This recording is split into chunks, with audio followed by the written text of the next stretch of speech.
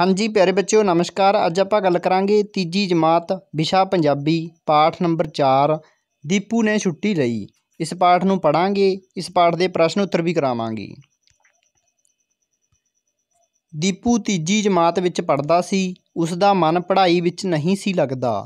ਉਸ ਦਾ ਜੀ ਕਰਦਾ ਕਿ ਉਹ ਸਾਰਾ ਦਿਨ ਖੇਡਦਾ ਰਹੇ, ਬਸ ਖੇਡਦਾ ਰਹੇ, ਤਿਤਲੀਆਂ ਨਾਲ, ਚਿੜੀਆਂ ਨਾਲ, ਕੀੜੀਆਂ ਨਾਲ ਜਾਂ ਆਪਣੇ ਹਾਣ ਦੇ ਬੱਚਿਆਂ ਨਾਲ।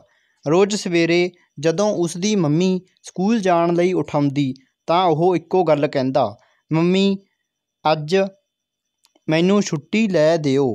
ਉਸਦੀ ਮੰਮੀ ਉਸਨੂੰ ਜਵਾਬ ਦਿੰਦੀ, ਤੂੰ ਕੱਲਾ ਕੀ ਕਰੇਂਗਾ? ਮੈਂ ਕੰਮ 'ਤੇ ਜਾਣਾ ਹੈ, ਤੇਰੇ ਪਾਪਾ ਨੇ ਕੰਮ 'ਤੇ ਜਾਣਾ ਹੈ, ਤੇਰੇ ਨਾਲ ਦੇ ਸਾਰੇ ਬੱਚੇ ਸਕੂਲ ਚਲੇ ਜਾਣਗੇ, ਤੂੰ ਖੇਡੇਂਗਾ ਵੀ ਕਿਸ ਨਾਲ? ਸਾਰੇ ਬੱਚੇ, ਸਾਰੇ ਚੰਗੇ ਬੱਚੇ ਰੋਜ਼ਾਨਾ ਸਕੂਲ ਜਾਂਦੇ ਹਨ, ਪੜ੍ਹਾਈ ਕਰਦੇ ਹਨ, ਪਰ ਦੀਪੂ ਨੂੰ ਆਪਣੀ ਮੰਮੀ ਦੀ ਗੱਲ ਸਮਝ ਨਹੀਂ ਸੀ ਆਉਂਦੀ। ਦੀਪੂ ਕਹਿੰਦਾ, ਨਹੀਂ ਮੇਰਾ ਨਹੀਂ ਨਹੀਂ, ਮੇਰਾ ਨਹੀਂ ਸਕੂਲ ਜਾਣ ਨੂੰ ਜੀ ਕਰਦਾ। ਮੈਂ ਆਪਣੇ ਆਪ ਖੇਡਦਾ ਖੇਡਦਾ ਰਹਾਂਗਾ ਬਸ। ਤੁਸੀਂ ਮੈਨੂੰ ਸਕੂਲੋਂ ਛੁੱਟੀ ਲੈ ਦਿਓ। ਦੀਪੂ ਦੀ ਰੋਜ਼-ਰੋਜ਼ ਦੀ ਜਿੱਦ ਤੋਂ ਤੰਗ ਆ ਕੇ ਇੱਕ ਦਿਨ ਦੀਪੂ ਦੀ ਮੰਮੀ ਨੇ ਦੀਪੂ ਨੂੰ ਛੁੱਟੀ ਲੈ ਦਿੱਤੀ।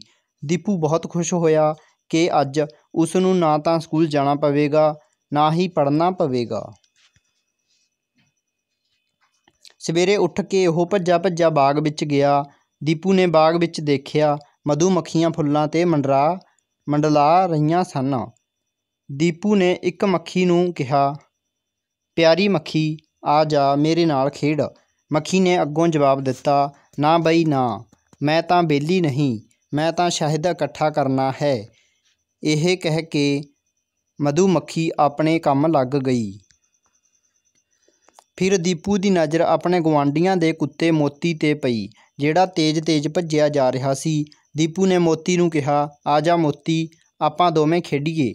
ਅੱਗੋਂ ਮੋਤੀ ਨੇ ਜਵਾਬ ਦਿੱਤਾ, ਮੈਨੂੰ ਵਿਹਲ ਨਹੀਂ, ਮੈਂ ਤਾਂ ਆਪਣੇ ਮਾਲਕ ਦੇ ਘਰ ਦੀ ਰਖਵਾਲੀ ਕਰਨੀ ਹੈ। ਜਲਦੀ ਉੱਥੇ ਪਹੁੰਚਾਂ, ਕਿਧਰੇ ਚੋਰ ਹੀ ਨਾ ਆ ਜਾਵੇ। ਇਹ ਕਹਿ ਕੇ ਮੋਤੀ ਅੱਖੋਂ ਓਲੇ ਹੋ ਗਿਆ। ਫਿਰ ਦੀਪੂ ਦਾ ਧਿਆਨ ਇੱਕ ਚਿੜੀ ਵੱਲ ਗਿਆ। ਉਹ ਆਪਣੀ ਚੁੰਝ ਵਿੱਚ ਤੀਲਾ ਫੜੀ ਉੜਦੀ ਜਾ ਰਹੀ ਸੀ। ਦੀਪੂ ਨੇ ਚਿੜੀ ਨੂੰ ਕਿਹਾ, ਆ ਭੈਣੇ ਚਿੜੀਏ, ਆਪਾਂ ਦੋਵੇਂ ਖੇਡੀਏ। ਚਿੜੀ ਨੇ ਕਿਹਾ, ਮੈਨੂੰ ਤਾਂ ਸਿਰ ਖੁਰਕਣ ਦੀ ਬੇਲ ਨਹੀਂ। ਮੈਂ ਬਾਰਿਸ਼ਾਂ ਆਉਣ ਤੋਂ ਪਹਿਲਾਂ ਆਪਣਾ ਆਲਣਾ ਬਣਾਉਣਾ ਹੈ। ਜੇ ਮੈਂ ਤੇਰੇ ਨਾਲ ਖੇਡਣ ਲੱਗ ਪਈ, ਤਾਂ ਮੈਂ ਆਪਣਾ ਆਲਣਾ ਨਹੀਂ ਬਣਾ ਸਕਾਂਗੀ। ਤੂੰ ਤਾਂ ਲੱਗਦਾ ਹੈ ਹੀ ਵਿਹਲਾ। ਇਹ ਕਹਿ ਕੇ ਚਿੜੀ ਫੁਰਰ ਕਰਕੇ ਉੱਡ ਗਈ। ਹੁਣ ਦੀਪੂ ਹੁਣ ਦੀਪੂ ਦੀ ਨਿਗਾਹ ਕੀੜੀਆਂ 'ਤੇ ਪਈ। ਉਹ ਆਪਣੇ ਮੂੰਹ ਵਿੱਚ ਅਨਾਜ ਦੇ ਦਾਣੇ ਚੁੱਕੀ ਕਤਾਰ ਬੰਨੀ ਜਾ ਰਹੀਆਂ ਸਨ। ਦੀਪੂ ਨੇ ਹੁਣ ਕੀੜੀਆਂ ਦਾ ਤਰਲਾ ਕੀਤਾ। ਆ ਜੋ ਨਿੱਕੀਓ ਕੀੜੀਓ, ਕੁਝ ਪਲ ਮੇਰੇ ਨਾਲ ਖੇਡ ਲਵੋ। ਮੇਰਾ ਖੇਡਣ ਨੂੰ ਬੜਾ ਜੀ ਕਰ ਰਿਹਾ ਹੈ। ਕੀੜੀਆਂ ਨੇ ਉੱਤਰ ਦਿੱਤਾ, ਸਾਡਾ ਇਹ ਭੋਜਨ ਇਕੱਠਾ ਕਰਨ ਦਾ ਸਮਾਂ ਹੈ। ਅਸੀਂ ਵੱਧ ਤੋਂ ਵੱਧ ਭੋਜਨ ਆਪਣੀਆਂ ਖੁੱਡਾਂ ਵਿੱਚ ਇਕੱਠਾ ਕਰਨਾ ਹੈ। ਤਾਂ ਜੋ ਔਖੇ ਸਮੇਂ ਅਸੀਂ ਭੁੱਖੀਆਂ ਨਾ ਮਰੀਏ। ਸਾਨੂੰ ਬਿਹਲ ਕਿੱਥੇ? ਅਸੀਂ ਤਾਂ ਕੰਮ ਨਾਲ ਲੱਦੀਆਂ ਪਈਆਂ ਹਾਂ। ਇਹ ਕਹਿੰਦਿਆਂ ਕੀੜੀਆਂ ਆਪਣੀ ਚਾਲੇ ਤੁਰ ਪਈਆਂ। ਦੀਪੂ ਉਹਨਾਂ ਨੂੰ ਦੇਖਦਾ ਰਿਹਾ। ਦੀਪੂ ਬਹੁਤ ਉਦਾਸ ਹੋ ਗਿਆ। ਕੋਈ ਵੀ ਉਸ ਨਾਲ ਖੇਡਣ ਲਈ ਤਿਆਰ ਨਹੀਂ ਸੀ। ਸਾਰੇ ਆਪਣੇ ਕੰਮੀ ਰੁੱਝੇ ਹੋਏ ਸਨ। ਇਕੱਲਾ ਉਹ ਹੀ ਵਿਹਲਾ ਸੀ। ਉਹ ਦੁਪਹਿਰ ਤੱਕ ਇਕੱਲਾ ਘੁੰਮਦਾ ਰਿਹਾ।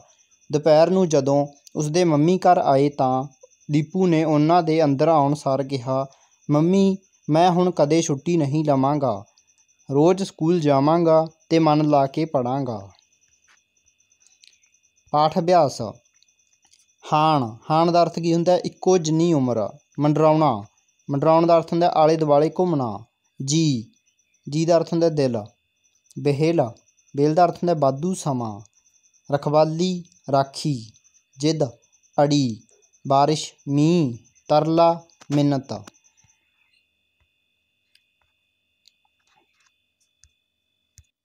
ਹੁਣ ਬੱਚਿਓ, ਆਪਾਂ ਪ੍ਰਸ਼ਨ ਉੱਤਰ ਕਰਦੇ ਹਾਂ। ਮੌਖਿਕ ਪ੍ਰਸ਼ਨ, ਦੀਪੂ ਕਿਹੜੀ ਜਮਾਤ ਵਿੱਚ ਪੜਦਾ ਸੀ? ਦੀਪੂ ਕਿਹੜੀ ਜਮਾਤ ਵਿੱਚ ਪੜਦਾ ਸੀ?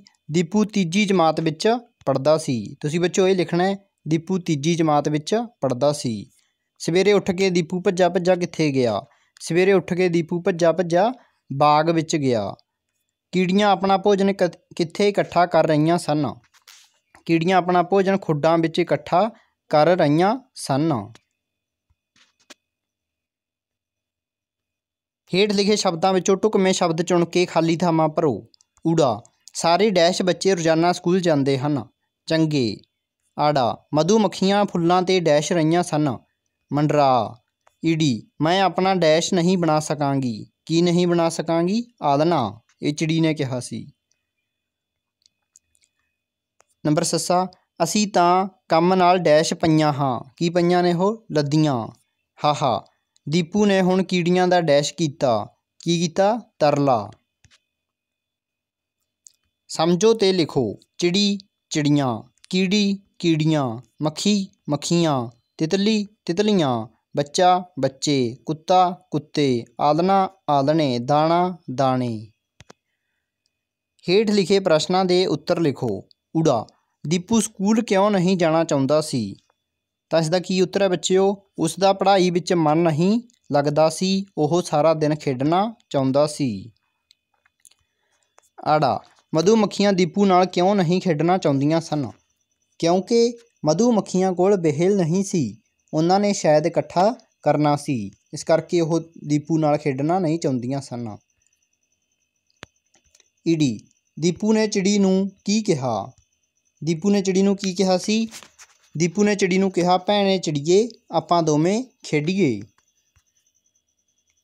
ਸੱਸਾ, ਦੀਪੂ ਉਦਾਸ ਕਿਉਂ ਹੋ ਗਿਆ? ਦੀਪੂ ਉਦਾਸ ਇਸ ਕਰਕੇ ਹੋ ਗਿਆ ਕਿਉਂਕਿ ਕੋਈ ਵੀ ਉਸ ਨਾਲ ਖੇਡਣ ਲਈ ਤਿਆਰ ਨਹੀਂ ਸੀ। ਸਾਰੇ ਆਪਣੇ ਕੰਮੀ ਰੁੱਝੇ ਹੋਏ ਸਨ। ਇਕੱਲਾ ਉਹ ਹੀ ਵਿਹਲਾ ਸੀ। ਇਸ ਤੋਂ ਬਾਅਦ ਅੱਗੇ ਦੇਖਦੇ ਹਾਂ।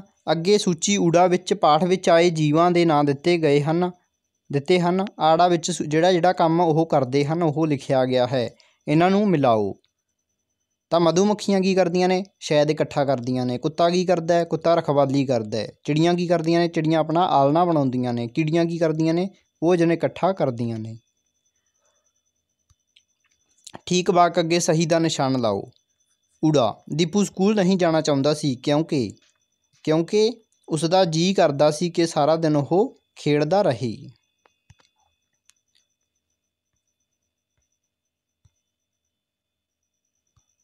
ਉਸ ਨੂੰ ਸਵੇਰੇ ਆੜਾ, ਠੀਕ ਹੈ, ਆੜਾ ਹੈਗਾ ਸਾਡੇ ਕੋਲ, ਮਧੂਮੱਖੀਆਂ ਦੀਪੂ ਨਾਲ ਨਹੀਂ ਖੇਡ ਸਕਦੀਆਂ ਸਨ ਕਿਉਂਕਿ ਕਿਉਂਕਿ ਕਿਉਂ ਨਹੀਂ ਖੇਡ ਸਕਦੀਆਂ ਸੀ? ਕਿਉਂਕਿ ਉਹਨਾਂ ਨੇ ਸ਼ਹਿਦ ਇਕੱਠਾ ਕਰਨਾ ਸੀ, ਇਸ ਅੱਗੇ ਟਿਕ ਲਾ ਦਾਂਗੇ।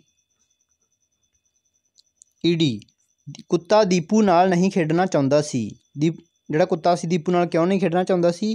ਕਿਉਂਕਿ ਉਸ ਨੇ ਆਪਣੇ ਮਾਲਕ ਦੇ ਘਰ ਦੀ ਰਖਵਾਲੀ ਕਰਨੀ ਸੀ। ਸੱਸਾ, ਚਿੜੀ ਦੀਪੂ ਨਾਲ ਨਹੀਂ ਖੇਡ ਸਕਦੀ ਸੀ, ਕਿਉਂਕਿ ਜਿਹੜੀ ਚਿੜੀ ਸੀ ਉਹ ਦੀਪੂ ਨਾਲ ਕਿਉਂ ਨਹੀਂ ਖੇਡ ਸਕਦੀ ਸੀ? ਕਿਉਂਕਿ ਉਸ ਨੇ ਆਪਣਾ ਆਲਣਾ ਬਣਾਉਣਾ ਸੀ। ਹਾਹਾ, ਕੀੜੀਆਂ ਦੀਪੂ ਨਾਲ ਨਹੀਂ ਖੇਡ ਸਕਦੀਆਂ ਸਨ ਕਿਉਂਕਿ ਕਿਉਂਕਿ ਉਹਨਾਂ ਨੇ ਆਪਣਾ ਭੋਜਨ ਇਕੱਠਾ ਕਰਨਾ ਸੀ। ਦੀਪੂ ਛੁੱਟੀ ਵਾਲੇ ਦਿਨ ਕਿਸ ਕਿਸ ਕੋਲ ਖੇਡਣ ਲਈ ਗਿਆ ਤਰਤੀਬ ਬਾਰ ਦੱਸੋ। ਸਭ ਤੋਂ ਪਹਿਲਾਂ ਦੀਪੂ ਸੀ, ਉਹ ਸ਼ਹਿਦ ਦੀਆਂ ਮੱਖੀਆਂ ਕੋਲ ਗਿਆ ਸੀ। ਠੀਕ ਹੈ, ਇਸ ਤੋਂ ਬਾਅਦ ਉਹ ਆਪਣੇ ਗੁਆਂਢੀਆਂ ਦੇ ਕੁੱਤੇ ਕੋਲ ਗਿਆ ਸੀ। ਇਸ ਤੋਂ ਬਾਅਦ ਉਹ ਚਿੜੀ ਕੋਲ ਗਿਆ ਸੀ ਤੇ ਇਸ ਤੋਂ ਬਾਅਦ ਉਹ ਕੀੜੀਆਂ ਕੋਲ ਗਿਆ ਸੀ। ਠੀਕ ਹੈ, ਤੁਸੀਂ ਸਭ ਤੋਂ ਪਹਿਲਾਂ ਲਿਖ ਸਕਦੇ ਹੋ, ਪਹਿਲੇ ਨੰਬਰ ਤੇ ਉਹ ਗਿਆ ਮਧੂਮੱਖੀ ਕੋਲ, ਦੂਜੇ ਨੰਬਰ ਤੇ ਕੁੱਤੇ ਕੋਲ, ਤੀਜੇ ਨੰਬਰ ਤੇ ਚਿੜੀ ਕੋਲ, ਚੌਥੇ ਨੰਬਰ ਤੇ ਕੀੜੀਆਂ ਕੋਲ। ਵਿਦਿਆਰਥੀ ਨੂੰ ਰੋਜ਼ਾਨਾ ਸਕੂਲ ਆਉਣ ਤੇ ਪੂਰੀ ਮਿਹਨਤ ਨਾਲ ਕੰਮ ਕਰਨ ਲਈ ਪ੍ਰੇਰਿਤ ਕੀਤਾ ਜਾਵੇ। ਤਾਂ ਪਿਆਰੇ ਬੱਚਿਓ, ਤੁਸੀਂ ਰੋਜ਼ਾਨਾ ਸਕੂਲ ਜਾਣਾ ਹੈ, ਕਿਉਂਕਿ ਜੇ ਤੁਸੀਂ ਘਰੇ ਰਹਿ ਜਾਓਗੇ, ਤੁਹਾਡੇ ਨਾਲ ਕੋਈ ਖੇਡਣ ਵਾਲਾ ਨਹੀਂ ਹੋਵੇਗਾ। ਸਕੂਲ ਵਿੱਚ ਤੁਹਾਨੂੰ ਬਹੁਤ ਸਾਰੇ ਦੋਸਤ ਮਿਲਣਗੇ। ਤੇ ਇਹ ਵੀਡੀਓ ਪੂਰੀ ਹੋ ਚੁੱਕੀ ਹੈ। ਅਗਲੀ ਵੀਡੀਓ ਜਲਦ ਲੈ ਕੇ ਹਾਜ਼ਰ ਹੋਵਾਂਗੇ। ਤੁਹਾਡਾ ਬਹੁਤ ਬਹੁਤ ਧੰਨਵਾਦ।